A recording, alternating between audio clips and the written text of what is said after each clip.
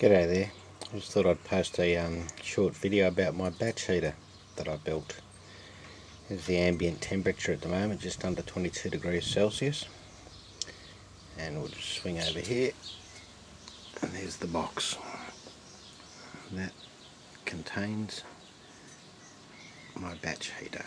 Basically a large box with a um, selective solar glazing that I've recycled from a an old burst solar flat plate collector and you can't really see through it but inside that is a 250 litre hot water cylinder. At the inlet here cold water straight off the mains. Down in here is what we call a duo valve. It's um, very important that any water that's not heated to 60 degrees Celsius is protected from flowing backwards into the drinking water supply. Duo valve comprises an isolation valve, that's it there, and inside there's a check valve so that no water can flow backwards. Because the batch heater doesn't always heat to um, 60 or higher degrees, there's the potential for bacteria to grow in, in the water that's contained inside the 250 litre tank. Over here we have the outlet, it's simply piped across along the house there and that's where it ducks inside to my inside water heater. So what's happening is we're taking the mains cold water from down here, we're taking it through the batch heater in the large box over here. It's heated by the sun and then fed straight in to my inside water heater. I've just put a little valve and an outlet here so that I can measure the temperature. So we'll just do that now. Alrighty. Here we go. I don't know if you can see that. There not a bad angle so it's still early in the morning. But we've had a, an hour or two of sun on the heater and with outlet temperature 29.3 degrees Celsius. And again we'll take a look at that ambient temperature, just under 22 degrees. So we'll have another look at that this afternoon and uh, give you an idea of what it does during a day. The aspect of the batch heater it faces near enough northwest um, just because of space constraints along the side of the house here. The house here and the chimney. We couldn't get a full duration of sunlight but the sun rises out over there and tracks across to there. So of a full arc we're getting probably two-thirds of the available sunlight in a day on the collector panel uh, generally from sunrise until about uh, 2.30, 3 o'clock in the afternoon. So we'll take another look at the temperature then. Righto, well as promised we'll check the temperature. Ambient's just under 24 it's uh, getting on in the afternoon. We've had about 5 hours of sunlight on the batch heater since we last checked the temperature. So we'll have a little look here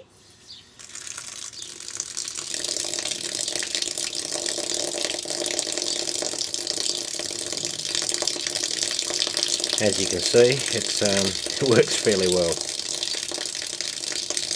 There's been no other draw off of water from the tank since we last checked it. So this is essentially a static test.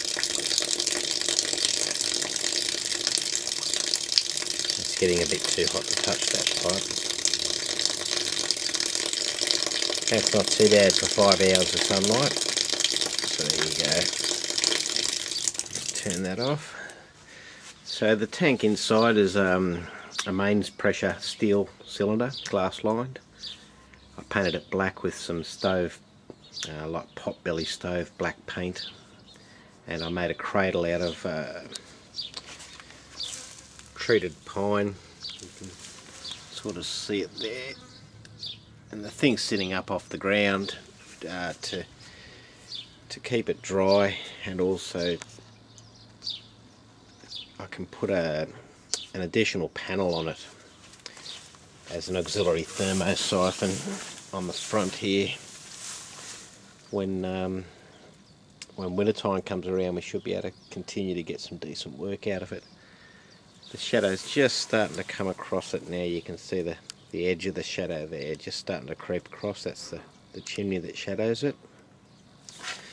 The other things that I did that are worth mentioning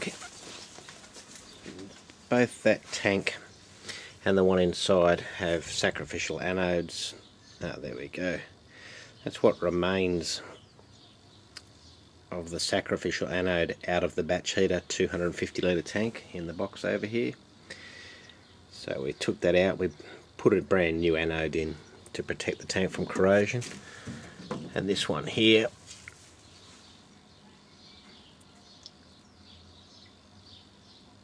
is a sacrificial anode from the tank inside. So it had maybe a little bit more life in it, but it was wise to replace it um, at the same time. So I went ahead and did that. Because it's a mains pressure system,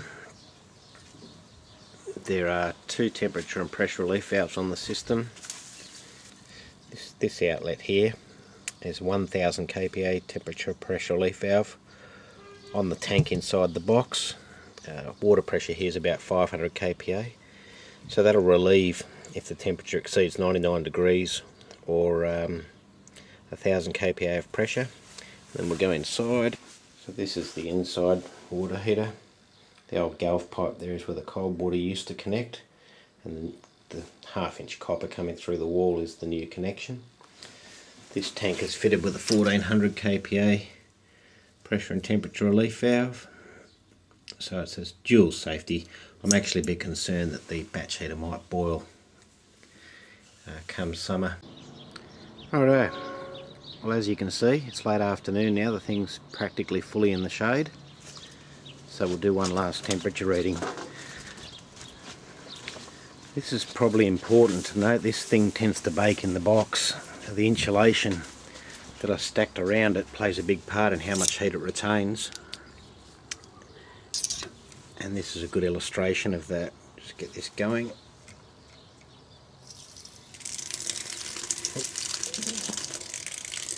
Take it easy on the valve there. And again we're just waiting for a bit of water to run through. The water in the line even though the line's insulated does cool off the water in the tank uh, tends to hold its temperature fairly well until it's drawn into the inside tank for use. Again, we haven't drawn any water off today, so that we can give you some fairly accurate readings.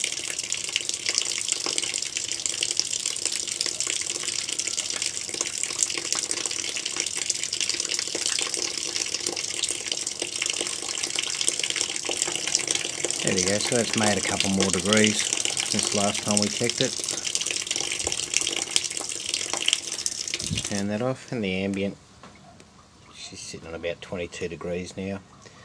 The temperature of the water going in from the cold water pipe this time of year is about 18 degrees Celsius. So all in all, that's not too shabby. And that's about it. Thanks for watching. Cheerio.